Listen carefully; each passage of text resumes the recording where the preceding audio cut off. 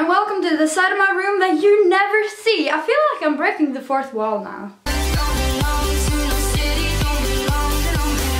Everybody's making fall videos right now because, duh, it's fall. Or at least it was two months ago when I wrote this script. Um, so we're just gonna pretend that it's fall, okay? Just bear with me. It's not November, it's September. So since everybody else is making fall videos right now, I'm also gonna do it. This is when you realize it's gonna be a fucked up video. Today I'm sharing with you a couple of my favorite fall life hacks because I'm a girl on YouTube. Isn't this what I'm supposed to do? Let's go.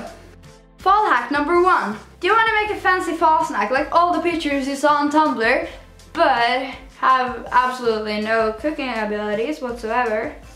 Just give up and eat the kiwi fruit with the peel. because you're a weird person. Who does that? Fall hack number two. Wanna have a cozy night in with the girls but then you realize that you got no friends? No problem, you can just watch Friends instead and cry over the fact that you don't have any.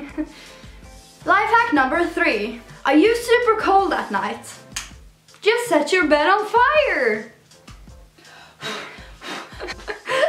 Stupid, don't do that. Honestly, I don't want people to sue me over this. oh my god, it actually set on fire. Fall hack number five, I think. Do you want to make a festive fall drink but everything is so fattening? No problem. Try this low calorie, sugar free, gluten free, vegan, non-carb diet drink that takes no time at all. It's cold water. Having trouble finding the perfect dress for school? No worries, you live in Norway. It's freezing cold as fuck right now and you're not gonna wear a dress if you want to survive this winter. There's no such thing as fall, we just go straight to winter. It's so sad. Looking for a great fall activity that you can do outside but it's always raining?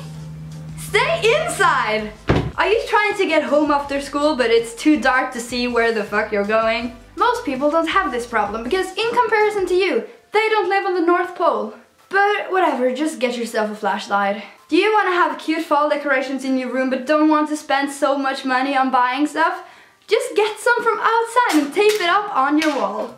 Doesn't matter if it is muddy or wet or absolutely gross, it's gonna look super duper cute in the end. So, I guess that was everything I have for you guys this week. If you'd like to, make sure to give it a thumbs up. I'm Connor Franta, aren't I? This do for fun.